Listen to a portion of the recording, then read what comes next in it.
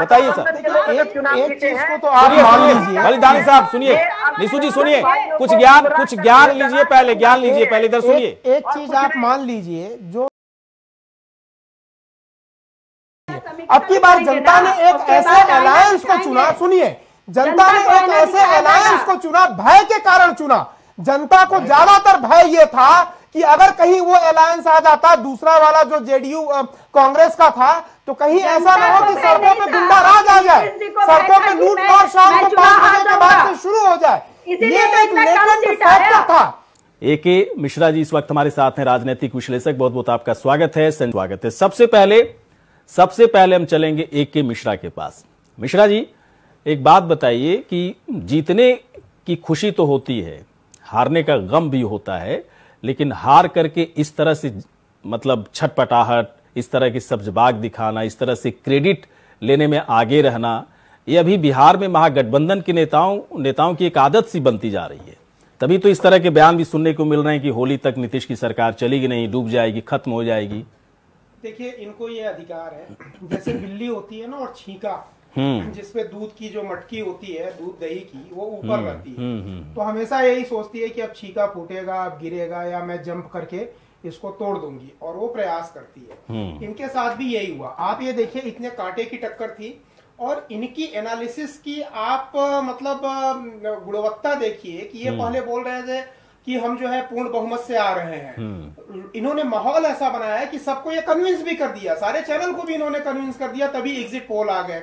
Result कुछ और आ गया। तो पहला क्वेश्चन ये उठता है कि मैं कैसे विश्वास कर लूँ कि जो आपने अभी बोला है वो आगे होगा। दूसरा मेरा लॉजिकल क्वेश्चन है कि ठीक है, चलिए आप बोलते हैं, मैं मानता हूँ। इसके पीछे बेस क्या है? अगर आप ये बोलते हैं कि कुछ ही दिनों में एक आदमी का एक मंत्री का मिनिस्टर का इस्तीफा हो गया हाँ। तो एनडीए में या इनके गठबंधन में बीजेपी के कोई कमी नहीं है मंत्री और मिनिस्टर बनाने के लिए हाँ। कई लोगों को ये बुला करके दूसरे पोस्ट दे सकते हैं बल्कि इसका एक पॉजिटिव मैसेज समाज में जा रहा है कि भाई देखिए भ्रष्टाचार के मामले में कोई भी हो उसको टॉलरेट नहीं किया जाएगा हाँ, तो, और, और जिस तरीके से दो लाख नौकरी का भी हाँ, इनकी एनालिसिस का मैं बेस जान देखिए इनसे वो मंत्र पूछिए कि फरवरी तक अगर इनके पास कोई ऐसा शक्तिशाली मंत्र है कि फरवरी के बाद गिर जाएगी तो वो मंत्र अभी इनको आजमा लेना चाहिए। बिल्कुल बिल्कुल। के ठीक बात तो क्या पंद्रह लोगों को तो इकट्ठा कर नहीं पाए तो, कि अपनी सरकार एके एके मिश्रा जी क्यों ना फिर चलते हैं निशु जी के पास चलते हैं है ना? गठबंधन की तरफ़ से यही आई है बात करने के लिए। निशु जी क्या कोई गायत्री मंत्र की तरह कोई फॉर्मूला है आपके पास कि मंत्र पढ़े और मंत्र पढ़े? मंत्र पढ़े और तीन चार महीने में सब कुछ सब कुछ जो है आपके फेवर में आ जाएगा। नहीं आपके नेता आपके एक मिनट सुनिए सवाल सुनिए। देखिए बिना सवाल बिना सवाल सुने अगर जवाब देंगी ना तो फिर आप भी उसी तरह की बयानबाजी में फंस जाएँगी जैसा कि आपके बड़े नेता तेजस्वी यादव कर रहे हैं और तमाम छुटभैये नेता जो आरजेडी के हैं वो आजकल इसी काम में लगे हुए हैं। तो छुटभैये नेता की तरह बिहेव मत कीजिए पहले सवाल सुनिए आप जो है। सवाल यह है कि आधार क्या है आपका? किस आधार पर आपके नेता चाहे वो तेजस्वी यादव हो या फिर जो जो छोटे मोटे नेता आजकल उभर आए हैं आरजेडी के अंदर उनकी तरफ़ से बयान होता है कि अगली होली नीतीश कुमार नहीं खेल पाएँगे। आधार है कुछ? बताइए। पूर्ण बहुमत आपके पास है नहीं? पूर्ण बहुमत है नहीं? नौकरी का ऐलान नीतीश कुमार करते हैं वो भी क्रेडिट आप लोग ले लेते। आधार बताइए ऐसे काम नहीं चलेगा। ए के मिश्रा संजय जी संजय जी। मौका मिलेगा मौका मिले। ब्रेक के बाद काउंटर कीजिएगा ब्रेक के बाद बिल्कुल काउंटर कीजिएगा। निशु जी आपके पास हम थोड़ी देर के बाद आते हैं लेकिन एके मिश्रा से एक सवाल एके मिश्रा जी निशु जी से पूछा गया क्या आधार है क्या तर्क है? नहीं बता पाए लेकिन आप बता दीजिए कि आप लोग ऐसा क्यों कर रहे हैं? आप आपके महागठबंधन में कितनी दिक्कत चल रही है? आपके कार्यकर्ता कितना कमज़ोर हो चुके हैं। पाँच साल में ऐसा लग रहा है कि महागठबंधन महागठबंधन नाम का कोई चीज़ नहीं रहेगा। आरजेडी के कार्यकर्ता भी आरजेडी से हटने लगेंगे क्योंकि उन्हें कोई उम्मीद तो बनती हुई दिखेगी नहीं। क्या यही सब है क्या एक मिश्रा ये महागठबंधन को अगर हम छोड़ दें और प्रिंसिपल बेस्ड हम एनालिसिस करें। आप बताइए बताइए। तो जो ये बोल रहे हैं कि होली तक जो है ये सरकार गिर जाएगी। सरकार गिरने का मतलब कहीं ना कहीं इनके पास कुछ ऐसा सोर्स या इंफॉर्मेशन होगा कि 25 लोग छोड़ के हमारे पास आ जाएँगे। सरकार तो ऐसे ही गिरेगी ना कि करंट सरकार से वो सीटें कम हो जाएँगी अल्पमत में आ जाएगी। अब मुझे आप एक चीज़ ये बताइए। हम्म। तलवार की धार पे चलने की कला बीजेपी ने बहुत अच्छे तरीके से डेवलप कर ली है। ये अटल बिहारी वाजपेयी वाली सरकार नहीं है कि जहाँ पे केवल एक वोट से भी गिर गई है। अगर ये कोई गठबंधन बनाते हैं और चुनाव जीतते हैं मार्जिनल विक्ट्री तीन सीटें ही ज़्यादा थी जितना इनको चाहिए। तो उसको मैनेज करने की भी कला इनके अंदर बहुत अच्छी तरीके से आती है। दूसरी सबसे इंपॉर्टेंट चीज़ देखिए बीजेपी के पास ऑप्शन इतने हैं। अगर मैं केंद्र की बात करूँ यानी न्यूक्लियस की बात करूँ यानी बिहार की राजनीति की पटना में तो बीजेपी और उसके घटक दलों में मतलब जेडीयू में भी ऐसा कोई नेता नहीं है जो नीतीश से बगावत कर सके और बीजेपी में भी वहाँ पे राज्य स्तर पे ऐसा कोई नेता नहीं है जो नीतीश का साथ छोड़ने की हिम्मत करे। तो इसके कारण मुझे नहीं लगता है कि किसी के पास कोई भी उसमें हम वगैरह जितने हैं उनके पास कोई बेटर ऑप्शन है पहली चीज़। दूसरी चीज़ अगर कोई ऐसा करता भी है तो एक जो प्रोटेक्टिव लेयर आप देखिए पेरीफेरल पे बीजेपी का है पूरे देश में जो बीजेपी है सेंट्रल हम्म। की बीजेपी है हम्म। वो भी नीतीश का साथ यानी दोनों लोग एक देंगे। बगावत करना टूट के जाना बहुत मुश्किल है। बिल्कुल बिल्कुल बिल्कुल मैं मैं बिल्कुल सहमत हूँ मैं बिल्कुल सहमत हूँ। देखिए पत्रकार वही बात करता है निशु जी, जो उसे दिखता है। किसी का फेवर हम लोग नहीं कर रहे हैं, लेकिन कई मेहमान इस वक्त हैं ए के मिश्रा जी हैं, राजनीतिक विश्लेषक एक के पास चलते हैं। मिश्रा साहब, एक बात बताएँ। आधार में पूछा था आपसे, ठीक है, आधार मुझे भी कई चीज़ें चीज़ों का आधार दिखता है, कि छटपटाहट है। एकदम से ऐसा लगा, हम लोग को भी ऐसा लगा, किसी के मुँह से एकदम से रोटी छीन ले छीन ली गई हो, है ना? और उसकी जो छटपटाहट होती है वो देखने वाली होती है। कुछ इस तरह से महागठबंधन के मुँह से उसकी जीत को छीन लिया गया। लेकिन छीना तो नहीं गया ना।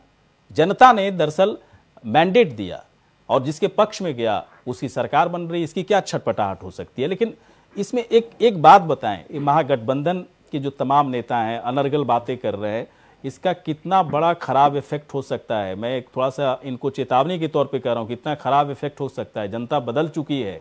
लालू स्टाइल नहीं चलेगा। तेजस्वी स्टाइल भी नहीं चलेगा। तेजस्वी को भी बहुत ग्रूम करने की ज़रूरत है पॉलिटिक्स में, क्योंकि ना तो ढंग से बोल पाते हैं, ना ढंग से अपनी बातों को रख पाते हैं, और वो गवई जो जो गवई वाली जो बातें होती है ना, बिहार में भी अब नहीं चलने वाला है। है ना? यंग जनरेशन है और गवई की तरह, है ना, आप पेश हो रहे हैं जनता के बीच में, कौन पसंद करेगा? गौरी शंकर, मैंने एक चीज़ बोला था कि बीजेपी ने तलवार की धार पे चलने की कला विकसित कर रही है, कर ली है। बहुत स्ट्रांग ये हो गए हैं, यानी चीज़ों को मैनेज करना कॉम्प्लेक्स चैलेंज चैलेंज को मैनेज करना। मैं मानता हूँ बीजेपी और एनडीए में बहुत बुराइयाँ हैं बहुत कमियाँ हैं। चलिए मैं इनके फेवर से बोलता हूँ। हम्म। सवाल ये नहीं है कि कमियाँ क्या है बुराइयाँ क्या है। दक्षता ये होती है कि आप चीज़ों को मैनेज करने में कितने स्किल्ड हैं। हम्म। तीन सीट तीन सीट कोई बहुत बड़ा अंतर नहीं होता है। अगर ये लोग चाहते हैं तो ये भी उस चीज़ को कवर कर सकते थे 10-15 सीट कवर कर सकते थे। लेकिन अभी जैसे बात हो रही थी कि कांग्रेस ने ब्लेम किया कि 40 ऐसी जगहों पे हमें दे दी गई जहाँ पे हार सुनिश्चित फैक्ट ये हाँ, ये ये माइक्रो लेवल की जो मैनेजमेंट की मैं बात कर रहा हूँ कि तलवार की धार पे चलना हाँ। ये कला इन लोगों के पास है नहीं। और हाँ। देखिए लालसा होना और मैं अच्छी बात मानता हूँ अगर विपक्ष के पास लालसा पता है पता है पता है मिश्रा जी देखिए यही यही बात जो है यही बात लोगों को समझ में नहीं आती। क्या क्या मिश्रा जी? क्या चलो ठीक है ठीक है ठीक है। एक एक मिश्रा एक मिश्रा, क्या क्या लगता है कि जो महागठबंधन वाले नीतीश कुमार की तरफ़ से जितने भी काम किए गए सब सब पर वो कहते हैं कि सब बेकार था। वाकई में बिहार में पॉलिसी पैरालिसिस जैसी बातें दिखी जनता के बीच में। इस वजह से इस वजह से आलोचनाओं के शिकार हुए नीतीश कुमार, क्योंकि देखिए, नीतीश कुमार नीतीश कुमार का डाउन तो हुआ था। और इस बार नीतीश कुमार के चेहरे पर लोगों ने वोट नहीं किया। इस बात को समझने की ज़रूरत है। लोगों ने कई दूसरे फैक्टर्स पे वोट किए। अगर अगर अगर बीजेपी को इतना कॉन्फिडेंस होता ना मिश्रा जी तो फिर दो लोगों को उनके साथ खड़ा नहीं किया जाता। नीतीश कुमार पर एक तरफा एक तरफा बहुत ईमानदारी के साथ वो जो है सपोर्ट करते हैं। बताइए सर। एक एक चीज़ को तो आप मान लीजिए। बलिदानी साहब सुनिए। निशु जी सुनिए।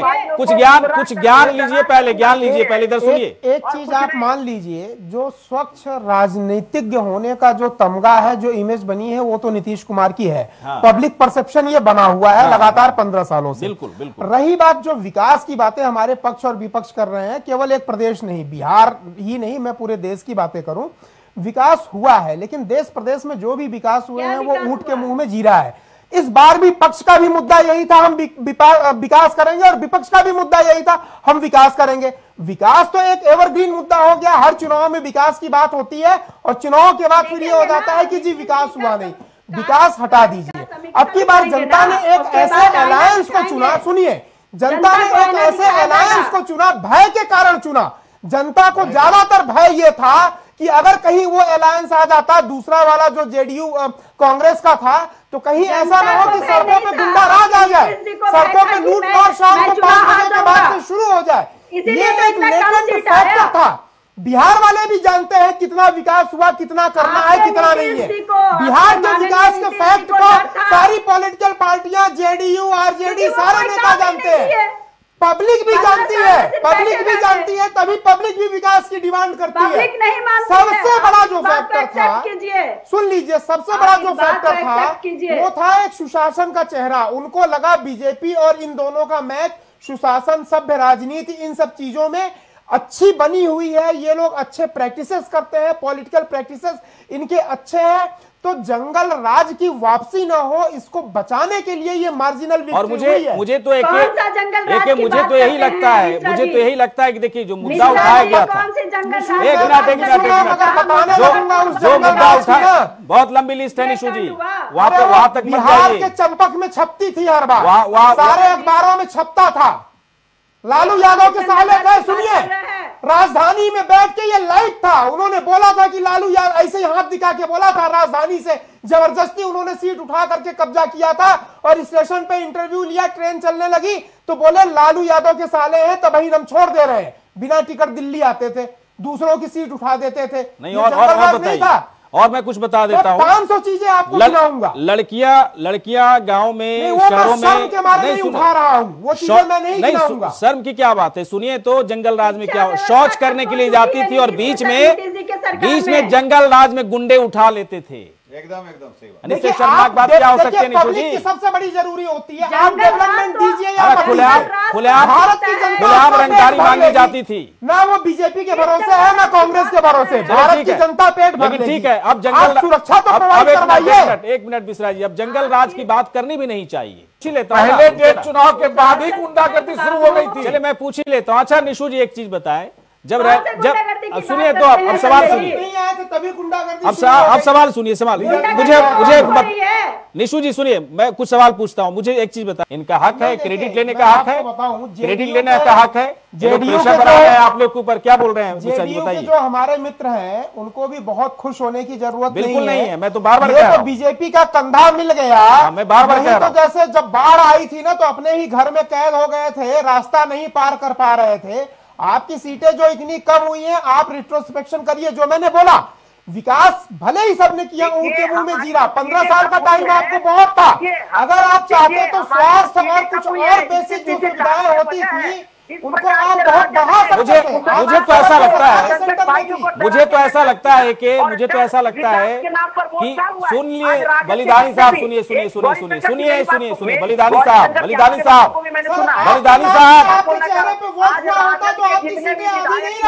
सुनिए आप जो बॉर्डर लाइन पे आपका गठबंधन अटक गया उसके पीछे रीजन ये था कि आपकी परफॉर्मेंस उतनी नहीं हो पाई और उनको विकास से अच्छा सुनिए बलिदानी साहब बलिदानी साहब परफॉर्मेंस अगर विकास के नाम पे हुआ होता तो आपकी परफॉर्मेंस बहुत अच्छी रहती आपका गठबंधन जाता डेढ़ सौ पे जितनी सीटें मिली है अगर उतनी सीटें आपका और होती तो यही चीज़ एक सौ पच्चीस में नहीं डेढ़ सौ में आपका रुकते रुकते एक मिनट एक मिनट एक मिनट ये बयानबाजी एक मिनट एक मिनट एक मिनट एक मिनट एक मिनट रुकिए एक मिनट एक मिनट एक मिनट एक मिनट एक एक मिनट एक मिनट एक मिनट बलिदानी साहब सुनिए सुनिए सुनिए सुनिए सुनिए सुनिए आपके लिए देखिए आपके आपके लिए बहुत अच्छी बात मैं बोल रहा हूँ बलिदानी साहब सुनिए अब मुझे समझ मेरी समझ से तो बाहर की बात है। कि मेरी समझ से बाहर की बात है कैबिनेट का विस्तार भी नहीं हुआ।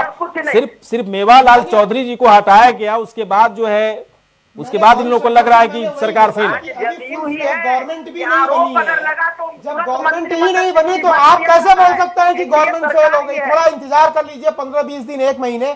गवर्नमेंट बन जाए दो तीन महीने तक देख लीजिए परफॉर्मेंस क्या है। रही बात दूसरी देखिए भेड़िया आया भेड़िया आया वाला आप लोग जो है अपनी इमेज मत बनाइए। आप लोग एक अपनी अपनी पार्टी के जिम्मेदार जो है प्रवक्ता है। आप हर बार ऐसी चीज़ बोलेंगे और वो होगा नहीं तो पब्लिक का विश्वास आपके ऊपर उठता जाता है। आप लॉजिकल बात करेंगे नहीं। आप बेस किसी आप अपने किसी भी दावे का बेस प्रोवाइड करते नहीं है। तो पब्लिक यही समझती है भेड़िया है भेड़िया है। हर बार यही बोलते हैं आप लोग। तो ऐसी इमेज देखिए आप लोग यहाँ बैठ के अपनी पार्टी का नुकसान करते हैं। लॉजिकल बातें नहीं कर रहे हैं। आप फेवर में बोलिए लेकिन बेस क्या है? प्रिंसिपल क्या है? आप बताइए ना। केवल ये बोलना कि हमने बोल दिया इसलिए हो जाएगा। ऐसा थोड़े होता है। तो ये तो ऐसा नहीं होता। मानेगा ना। कौन मानेगा? मैं तो नहीं मानेगा। जनता भी नहीं मानेगी मैं तो बिल्कुल मानने के लिए तैयार नहीं हो हूँ मैं मैं बिल्कुल मान और मैं इसीलिए